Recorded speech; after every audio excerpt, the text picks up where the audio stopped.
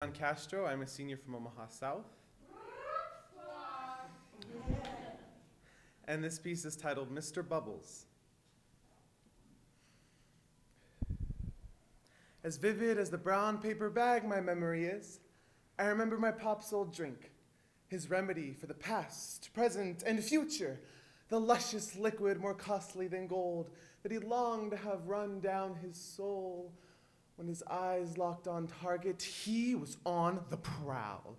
I remember hearing his deep breath and seeing his skin shine in the dim gas station light. Not once he'd look back.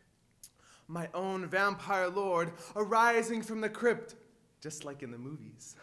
One by one, he possessed his victims wholly, entirely, with an insatiable thirst for more. No one, not even I, would stand in his way. It never left his grip. The cashier couldn't scan it, not even the car could hold it safe. And I, presumably his only son, could not share in one sip, and share in the obvious pleasure this treat delighted him with. Being a forlorn four year old sucks.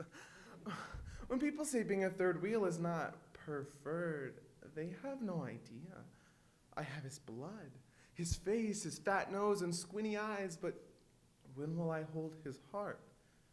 When will he hold my hand? Listen to my voice. Is it because I don't have his skin, his hair, his short height, the fashion sense, his mind?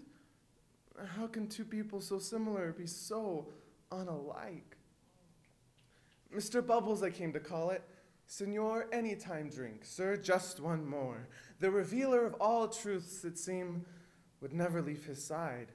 From the moment I'm in the door, his door is open to grab just one more.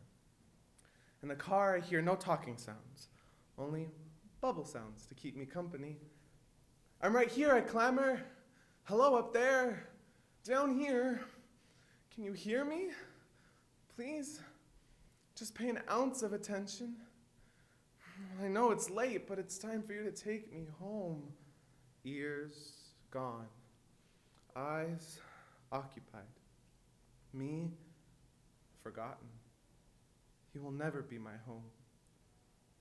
I never truly saw what he drank.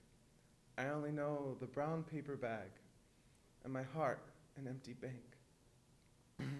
With a drink so sweet his little boy couldn't compete. Thank you.